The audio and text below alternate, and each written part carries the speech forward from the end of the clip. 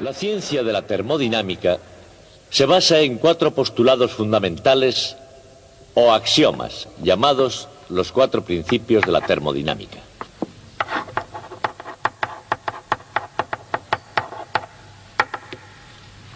De esos cuatro principios, el segundo fue el primero que se descubrió. El primero fue el segundo en descubrirse, el tercer principio que se descubrió se llama principio cero y el cuarto se llama tercer principio.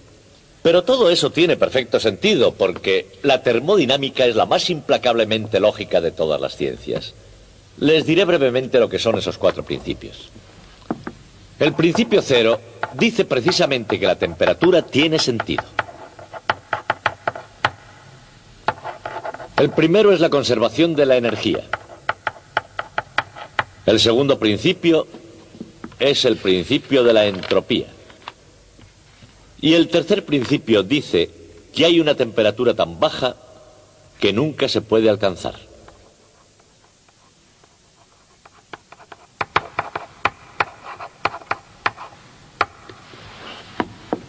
A partir de esos cuatro principios se han deducido no solo las propiedades de la materia, sino el destino último del propio universo.